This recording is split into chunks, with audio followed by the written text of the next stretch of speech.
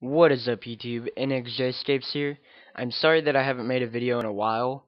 Um, I had a bit of test and I had to study for them and I was just pretty busy lately um, so I really wasn't on that much. Um, I'm starting to get back on now because it's summer. Um, I'm also um, thinking about making a series with my friend Eric.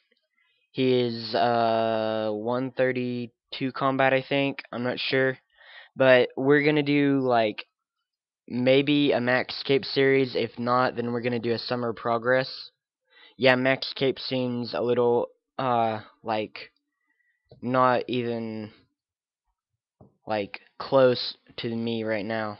But, you know, you understand what I mean. Um, yeah, so we're thinking about doing that. Um, I'll put in the description if it is confirmed or not yet by both of us. Um, but yeah, so stay tuned for some videos and um, yeah, thank you guys for the support. See ya.